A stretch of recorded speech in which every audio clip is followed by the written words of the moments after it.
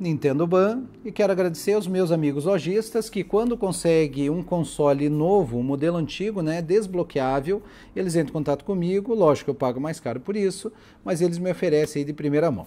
Então consegui mais um console aqui, esse aqui é um Shaw 700174, tá? Modelo aqui neon, novinho no plástico, tá? Então, ó, novinho no plástico, com todos os acessórios, tá?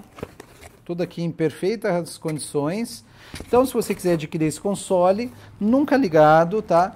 2.300 ou 2.400 já desbloqueado, faz cópia da NAND antes, é, põe um cartão de 64 GB e instalo lá uns 80, 82 GB de jogos à sua escolha, tá? Então, 2.400 é, e você também tem a opção de parcelar com os juros do cartão.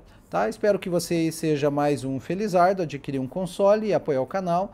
Já passamos aí de 50 consoles vendidos. Um abração a todos e até o próximo vídeo. Né? Se você quiser, tem o meu e-mail na descrição do vídeo. Se te interessar, é só entrar em contato que esse console aqui novinho tá? pode ser seu. Console novinho é show demais, né? Eu adoro mexer no console novo. Embora os meus são muito bem conservados, quando é novo, é novo, né? Deixa eu desligar a tela aqui, porque eu não sei como que a pessoa vai querer. Se é ele nunca ligado, né? Nunca passou dessa tela aqui inicial, ou se a pessoa vai querer ele já desbloqueado, né? Que é o pacotinho promocional.